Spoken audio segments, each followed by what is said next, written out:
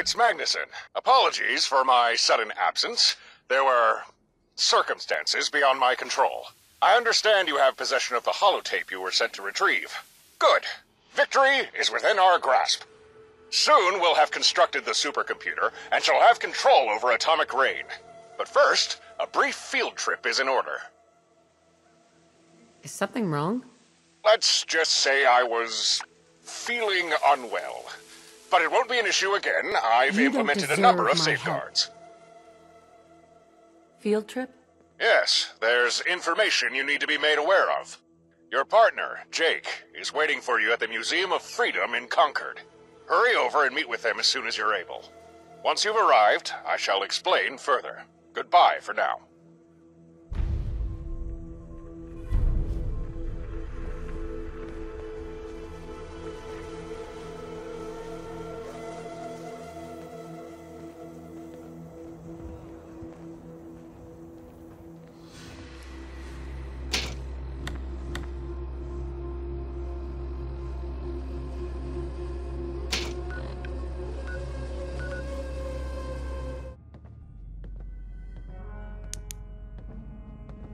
Ah, there you are. Got some good news. With Magnuson's help, we deciphered the holotape we found in 111. We can now make more advanced ASAMs. In fact, I already built one.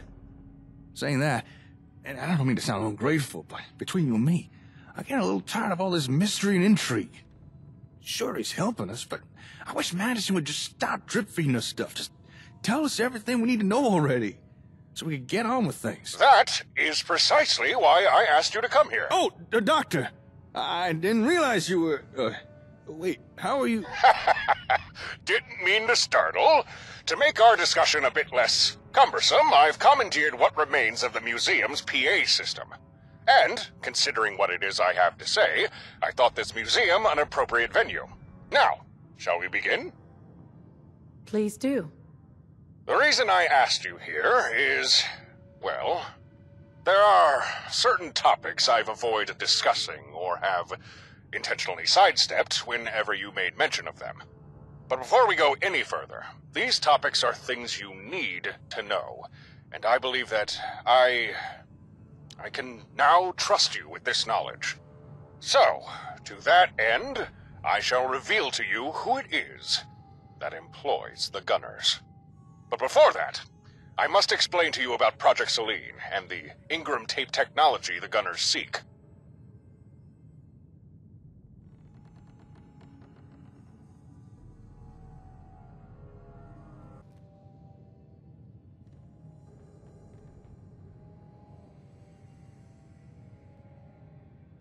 Who are the gunners working for?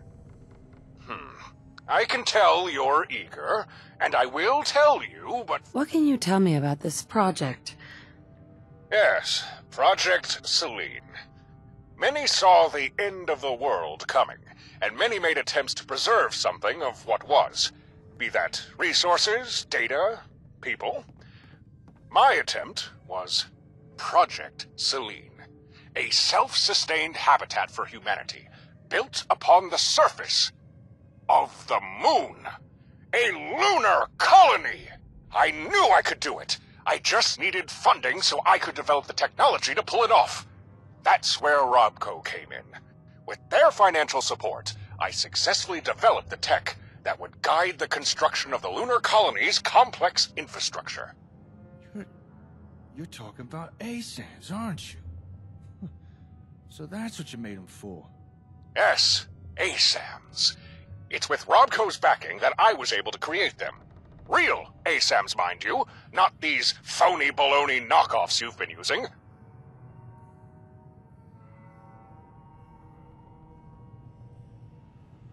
What did you say? Yes, that's right. The moon. Before you were born, Americans had already set foot on its dusty soil. And even back then, they knew it offered more than just a celestial nightlight or an out of the way place to store an old flag. Took 83 years, but eventually, the US was ready to stake a claim, to start colonizing the moon. Unfortunately, so were the Chinese. Commie forces had invaded the lunar surface, but the good old US of A already had a team waiting for them. My team. We called it the Battle in the Sea of Tranquility. Hmm, hell of a fight. We won, of course, but it came at a price. The Space Administration had a change of heart. They deemed colonization impractical, too costly.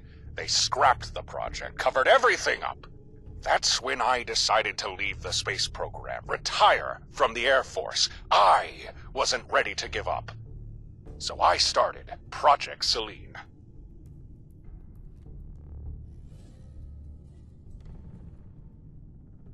What happened after that? At this point, Armageddon was still at least two decades away. Of course, I didn't know that at the time, but many of us suspected we didn't have long. I moved into the private sector, took whatever research jobs seemed interesting. Cryogenics, plasma-based propulsion, engramic digitization, whatever I thought might be useful for Project Selene.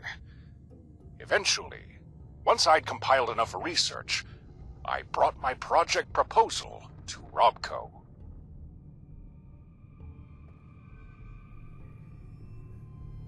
It sounds like you were really making a difference. If events had transpired differently, perhaps I could have made a difference. However, before I could even construct a rocket to launch the first payload of ASAMs to the lunar surface, Robco double-crossed me. They cut my funding, took the ASAMs, and kicked me to the curb. Cut adrift, and with time against me, I sought salvation from a devil. In order to salvage Project Selene, I made a deal with Vault Tech. They got my project back on track and facilitated the production of the Engram tapes.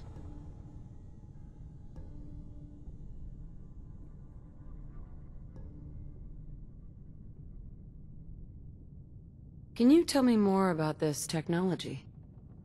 The Engram tapes were my answer to managing something as sophisticated as my Project Selene. Initially, I tried using computers for the task, but they lacked the ability to solve problems creatively. After that, I tried robots, but operating individually, they simply weren't clever enough. And when networked, their personalities became unstable. So in the end, I settled on using an AI.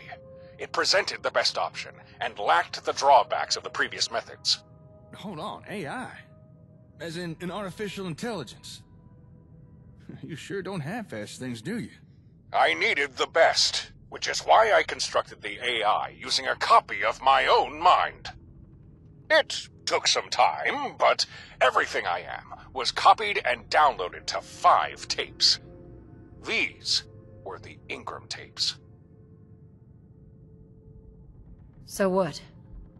So, I need you to understand why they'd be so valuable to someone like the gunner's employer.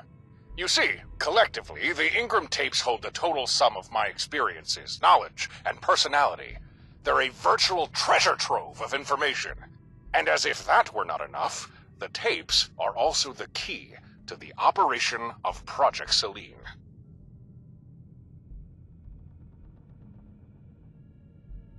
Who are the gunners working for? Hmm. Would it surprise you to learn that you've already met them? They're the ones who came to my rescue when Robco stabbed me in the back. Return as... Hey. What do you think? As crazy as it all sounds, everything Magnuson said does seem to add up. Could be everything you said was 100% sincere. Or he might just be a master of deception. He doesn't strike me as the dishonest type. Anyway, looks like Magnuson wants us to go to Olivia. Come on, let's go. Come on, let's get to Olivia.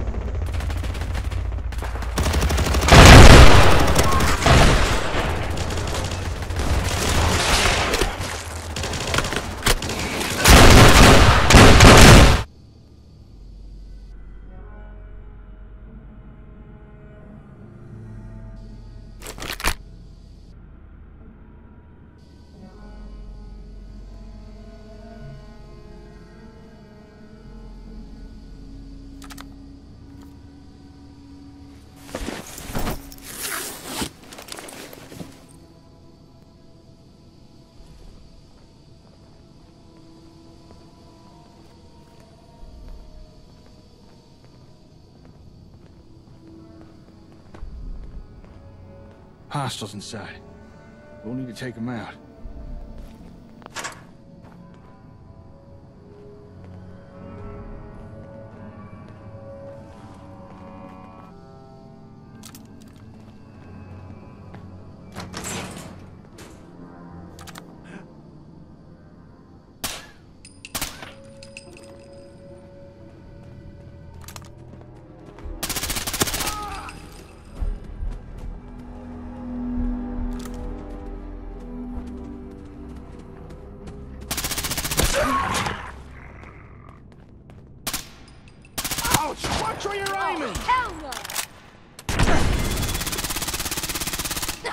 Good.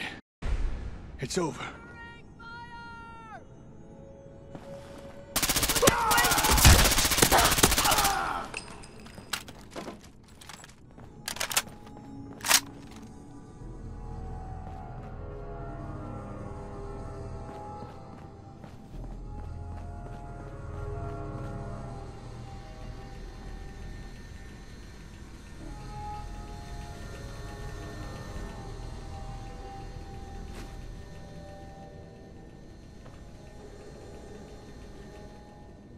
Magnuson here.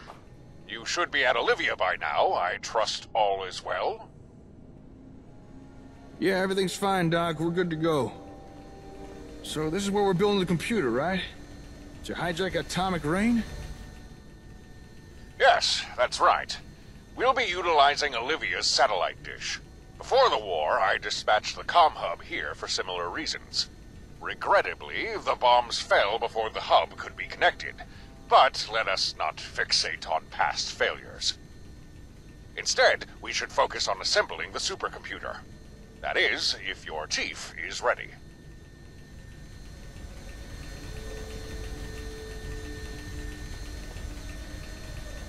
Let's get this thing built. Indeed. Let's get started. Mr. Evans, you brought the enhanced ASAM I requested you fabricate, correct? Oh, uh, uh, yeah. Got it right here. Good. Now, this may be a tad more complicated than you're accustomed to. Nonetheless, I'll guide you as best as I can. First, take the improved ASAM and position it on a nearby surface. The sensor should then scan the vicinity for equipment and materials we can utilize. This sure brings back memories. Here, catch. Seems only right you should be the one to do the honors.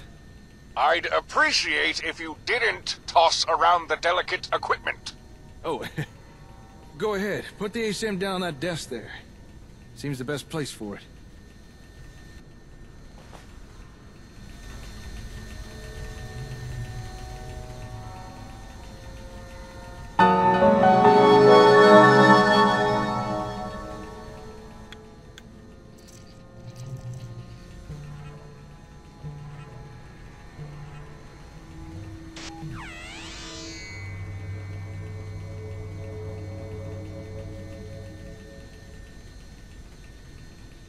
Now, pay close attention, adhere to my instructions, and we'll have this supercomputer built in no time at all. Come on. Can't quite get this recorded. Ah, there. One satellite controlling supercomputer made to order.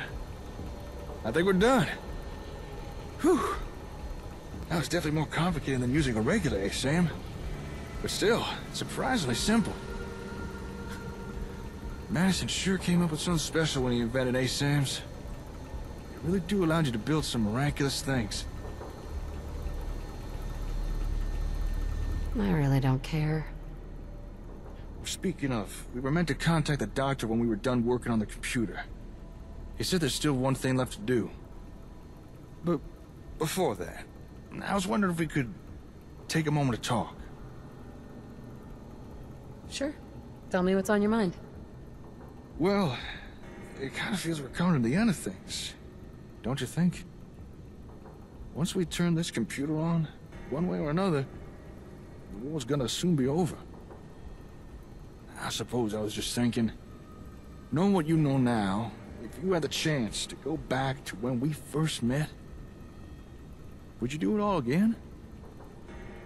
You know, ASAMs, settlements, taking on the gunners, forming our own group. Up with Aiden. Knowing how hard it's been. Would you still choose to do it all? I wouldn't have it any other way. I suppose that's why you're the one in charge. if only we could all have your level of self-assurance. But you know what? Asking myself the same question, I think I would do it all again. And not just because of Laura, but because I've realized the hard times, they're what reveals the kind of person you really are. And if it turns out you don't like what you're seeing in the mirror, well, now you've got a chance to change that. The ability to change and adapt is a fundamental part of being human. Yeah, I think so too. I came to the Commonwealth to find my kid, but I ended up finding a heck of a lot more. I found good people, a group that I care about, a cause worth fighting for. And I found myself. All because of the hard times. And also, I found my best friend, too. So, yeah. yeah, I think I would do it all again. Sorry, I kind of went off on a tangent there, didn't I? But I meant every word of it. Anyway, let's get back to the matter at hand, shall we? Good idea. All right. Time to let Magnuson know what we're up to. That radio on the desk there should be linked to the Doc's com frequency. Use it to let him know we're ready to continue.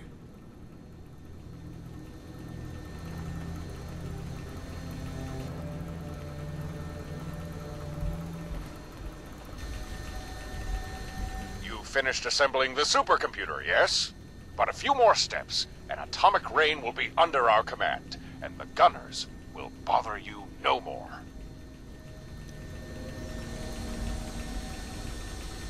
Everything is in place. It's ready to go when we are. Excellent. There's only one thing left to do.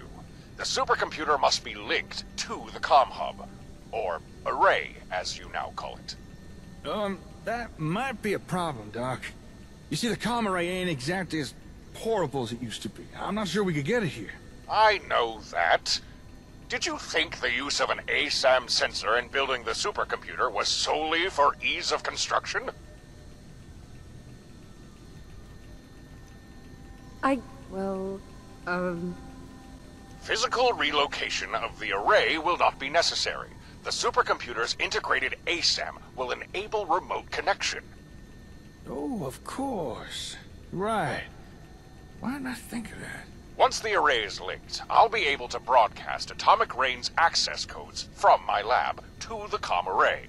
The codes will then be decrypted by the supercomputer before being relayed via Olivia's transmitter to the Atomic Rain satellites themselves.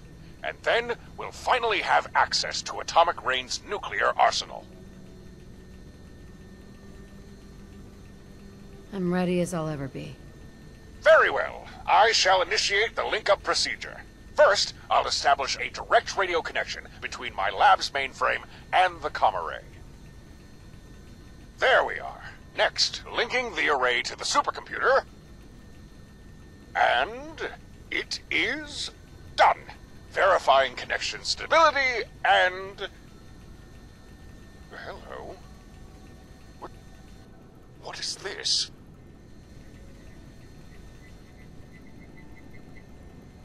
What's wrong? That noise. We shouldn't be hearing that. It's the ASAM boot up frequency.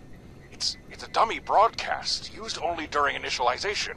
It calculates the position of all ASAMs and any connected radio signals. Oh. Oh no.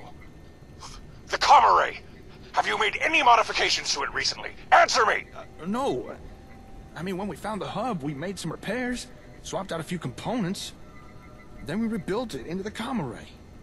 Maybe installed an upgrade or two, but nothing recent, nothing you don't already know about. Software! Have you installed any new software? No, nothing. The only thing recently was a holotape recording from the Gunners, but I checked it. It was clean.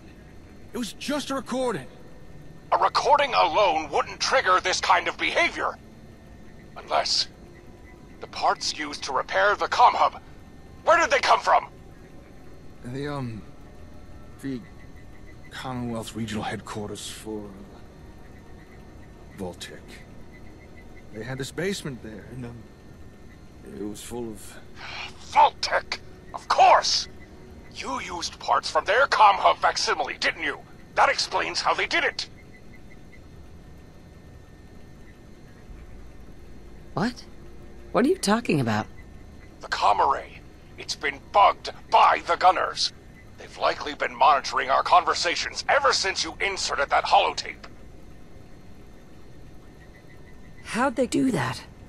I suspect the Vault-Tec hub parts you salvaged for repairs introduced a security flaw to the com array. And that holotape from the gunners contained the activation command to exploit that flaw. But I checked the holotape. There was only a recording on it. No programs or activation commands, nothing. The command would have likely been a basic series of melodic tones or high-pitched pulses. Vault-Tec always did prefer low-tech solutions. Are you in danger? That is a distinct possibility. I just connected my laboratory's mainframe to the bugged com array. If the gunners are even half awake, they'll have traced my radio signal by now, pinpointing my exact location. I may be in considerable danger. Okay, that's... That's not good. But maybe the gunners weren't paying attention. You could still intercept their communications, right? Find out what they know? Yes, yes, I'm already working on it. Stand by. I'm patching us in. It's Alpha Golf. Ready con... Notify Captain Lamont. Magnuson's position has been...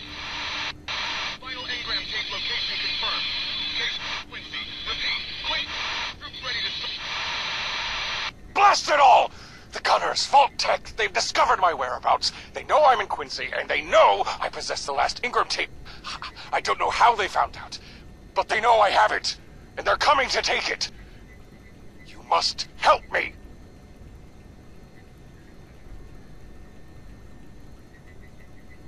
Of course I'll help you. Dr. Magnuson, transmit the atomic rain launch codes, and we could hit the gunners before... Don't you understand? It's too late for that. I'd bet eight of my 12 PhDs they're listening to this very conversation. I can't risk transmission. Even if we use atomic rain to destroy the gunners, by transmitting the access codes, we'd just be handing them over to Vault-Tec.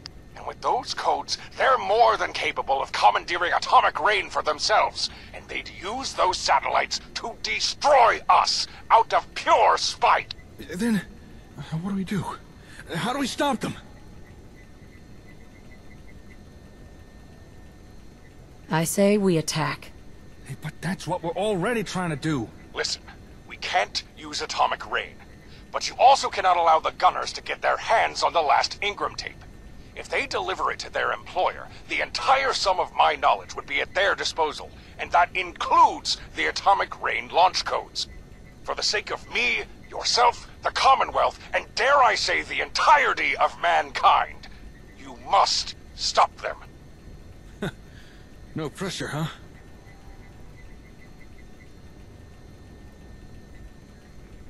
A lot of lives are depending on us. I... I have a plan, but our line of communication is no longer secure. Return to your headquarters, and I will find a way to instruct you further. Magnuson, out! Come on. Let's head back to HQ.